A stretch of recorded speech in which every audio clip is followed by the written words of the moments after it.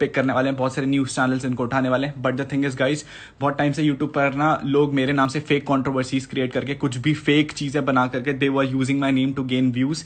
and you know big fan big fan U K zero seven मिलना है भाई। They just wanted to meet me and उसके बाद fake चीज़ें create करके they created these fake controversies but guys जब मेरी फैमिली को मारने की धमकी दी गई गाइज़ एंड uh, मेरी होने वाली वाइफ को जब एक प्रोस्टिट्यूशन एक कॉल गर्ल से कंपेयर करा गया उस पर हाथ उठाने की कोशिश की गई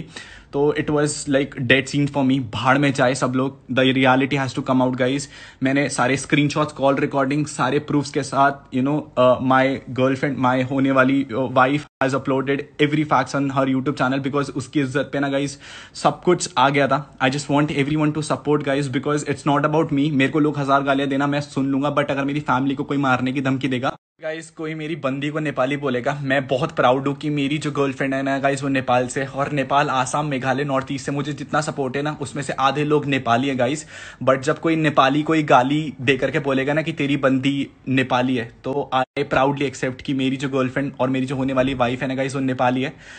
नेपाली कम्युनिटी को गाली दे करके कोई बड़ा नहीं बनने वाला guys but now they will know the power of bros है ना, कि अगर बाबू भैया की फैमिली और बाबू भैया की होने वाली वाइफ पर कोई इज़्ज़त की बात करेगा तो फिर गेम खत्म। मैं ना कोई कंट्रोवर्सी मैं ना कोई कंट्रोवर्सी में पढ़ना नहीं चाहता था बट क्या बताओ यार, ये बंदा इतना गिरा हुआ इंसान है कि अपने गर्लफ्रेंड के लिए दोस्तों को मतलब अकेला छोड़ दिया। समझ रहे हो आप बात को? लाइफ में यार फ्रेंडशिप बोल के कुछ चीज़ है ही नहीं और ये फ्रेंड्स को वैल्यू भी नहीं देता है, ठीक है? इसके लिए सिर्फ़ वही मैटर करता है व्यूज़ सब्सक्राइबर एंड यूट्यूब ठीक है? रियलिटी में इसका कोई दोस्त नहीं है। एंड आज जो उसने मेरे साथ किया, इस नेपाल में लेके आया मेरे को, उसके भरोसे में मैं गया था फ़र्स्ट टाइम नेपाल विज़िट करवा था। करा मैंने एंड उसके बर्थडे के बाद वाला दिन ही बोल रहा है कि तू वापस निकल जा,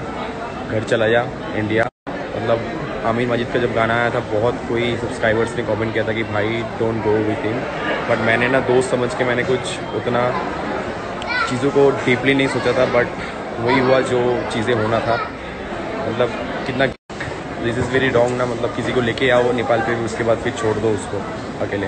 भाई, मैं बॉर्डर कैसे क्रॉस करूँगा? I don't have any idea